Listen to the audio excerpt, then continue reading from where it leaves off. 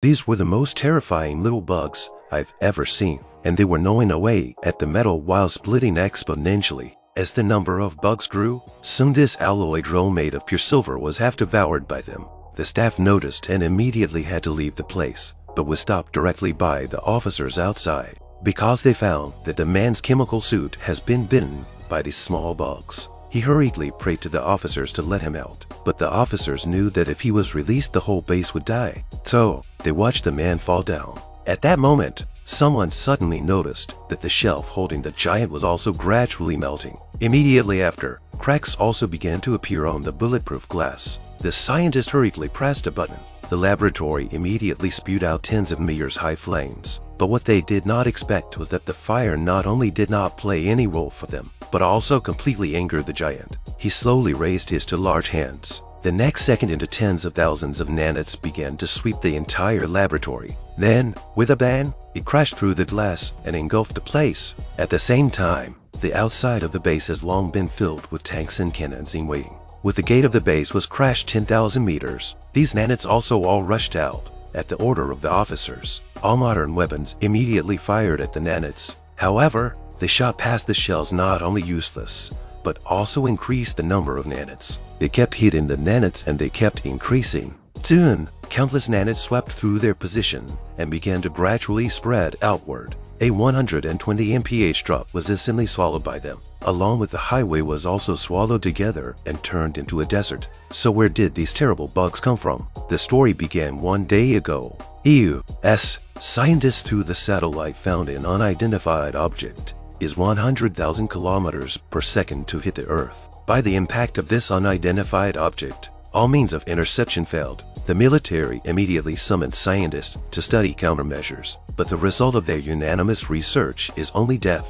The countdown was about to end, and all of them were ready to meet the death, but wait for the countdown to end but nothing happened. They then looked out the window. It turned out that the unidentified object has slowed down on its own, slowly swept over the city, and landed in an open space in Central Park. The military immediately sent a large number of armed personnel to surround the place. When the smoke cleared, the scientists finally saw the true nature of the unidentified object, which turned out to be a huge round sphere inside the continuous emission of layers of light. Suddenly, inside came out of an alien. The alien seemed to have no malicious intent to extend his hand to shake hands with Bella. A soldier, because of nervousness, accidentally pulled the trigger and hit the alien body. It is because of this shot, the sphere out of another 5 meters tall giant as soon as he opened his eyes, all modern weapons and cars went into silence, followed by a deafening zipping sound that made everyone present fall to the ground. He was about to attack Bella when suddenly the alien spoke out to stop him. The giant then slowly closed his eyes and all things returned to normal. Scientists immediately sent the alien to rescue him. Just as the doctors were about to operate on him, a strange scene occurred. The alien's surface skin was slowly falling off and underneath this surface skin was a human body. What's more incredible is that after only a few hours, he grew to adult size. When the man woke up, the U.S. Secretary of Defense approached him and asked him, What is your name and what is the purpose of coming here? The alien said his name was Latu and that he was here for Earth. He knew that a meeting would be held near here, so he would only explain to the UN what the purpose of coming here was. It was clear that the defense secretary could not be trusted by the aliens. Latu would not answer her questions again, so she sent someone to take Latu to the interrogation room to interrogate him with a lie detector. To their surprise, the polygraph not only failed to work on Latu, but was also used as a medium to control the interrogators. Latu was able to get the exit and password from her, and then observed the location of all the guards through the surveillance. Then, with his eyes closed, he precisely sent all the guards through the wireless headset and walked out. After coming out, Latu suddenly found that his wound was bleeding. He had no choice but to call Bella for help. Bella rushed over to pick him up in order to find out what he was up to. In the car, he and Bella asked for a small bottle containing the skin that had been removed from his body. He got out of the point to the wound.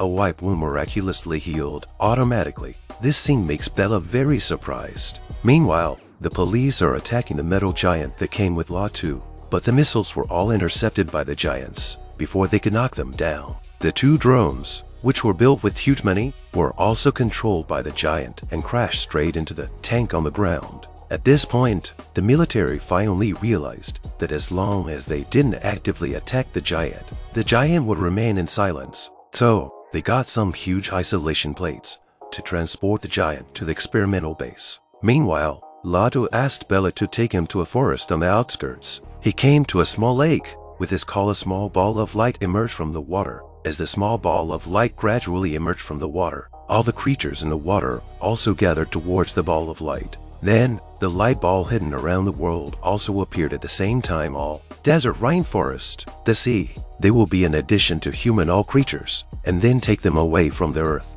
At this point, Bella also finally found out that something was wrong. Under her questioning, Lado confessed everything to her. He said that he came here to save the Earth. According to their prediction, the Earth is heading towards its demise step by step. The main cause of the Earth's demise is the human race. Therefore, the only way to save the Earth is to completely wipe out the human race. Bella was immediately shocked by this news when she heard it. She pleaded that there is another side to us humans, but Lado didn't believe it at all. He had already been heard by the defense minister. At this point, this defense minister was still insistent on capturing Lado at all costs. Soon, several helicopters find their way. During the escape, Bella was inadvertently captured by the military. The two remaining helicopters, aimed their missiles at Lado, but just as they were about to fire, the planes suddenly crashed into each other as Lado took control and wobbled. He then took Bella's son and left the area. Meanwhile, the giant that had been transported to the base had chipped the alloy drill bit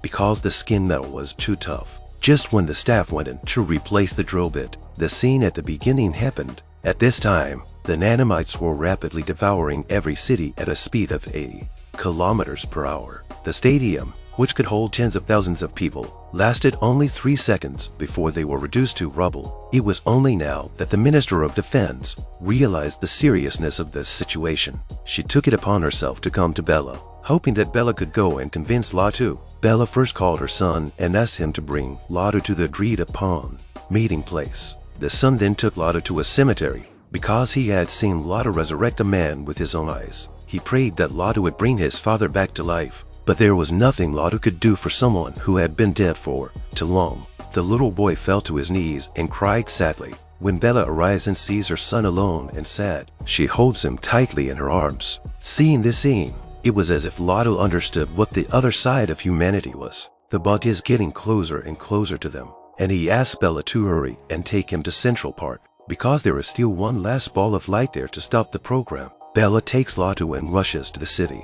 Just as they were about to reach the light sphere, suddenly several shells fell from the sky and sent their car flying tens of meters straight away. It turned out that the Minister of Defense wanted to destroy them together with the ball of light. Not only was the sphere unharmed, but it also delayed Lado's stopping procedure. By the time they got out of the car, countless bugs had already attacked the place. Lado could only take them into a bridge cave.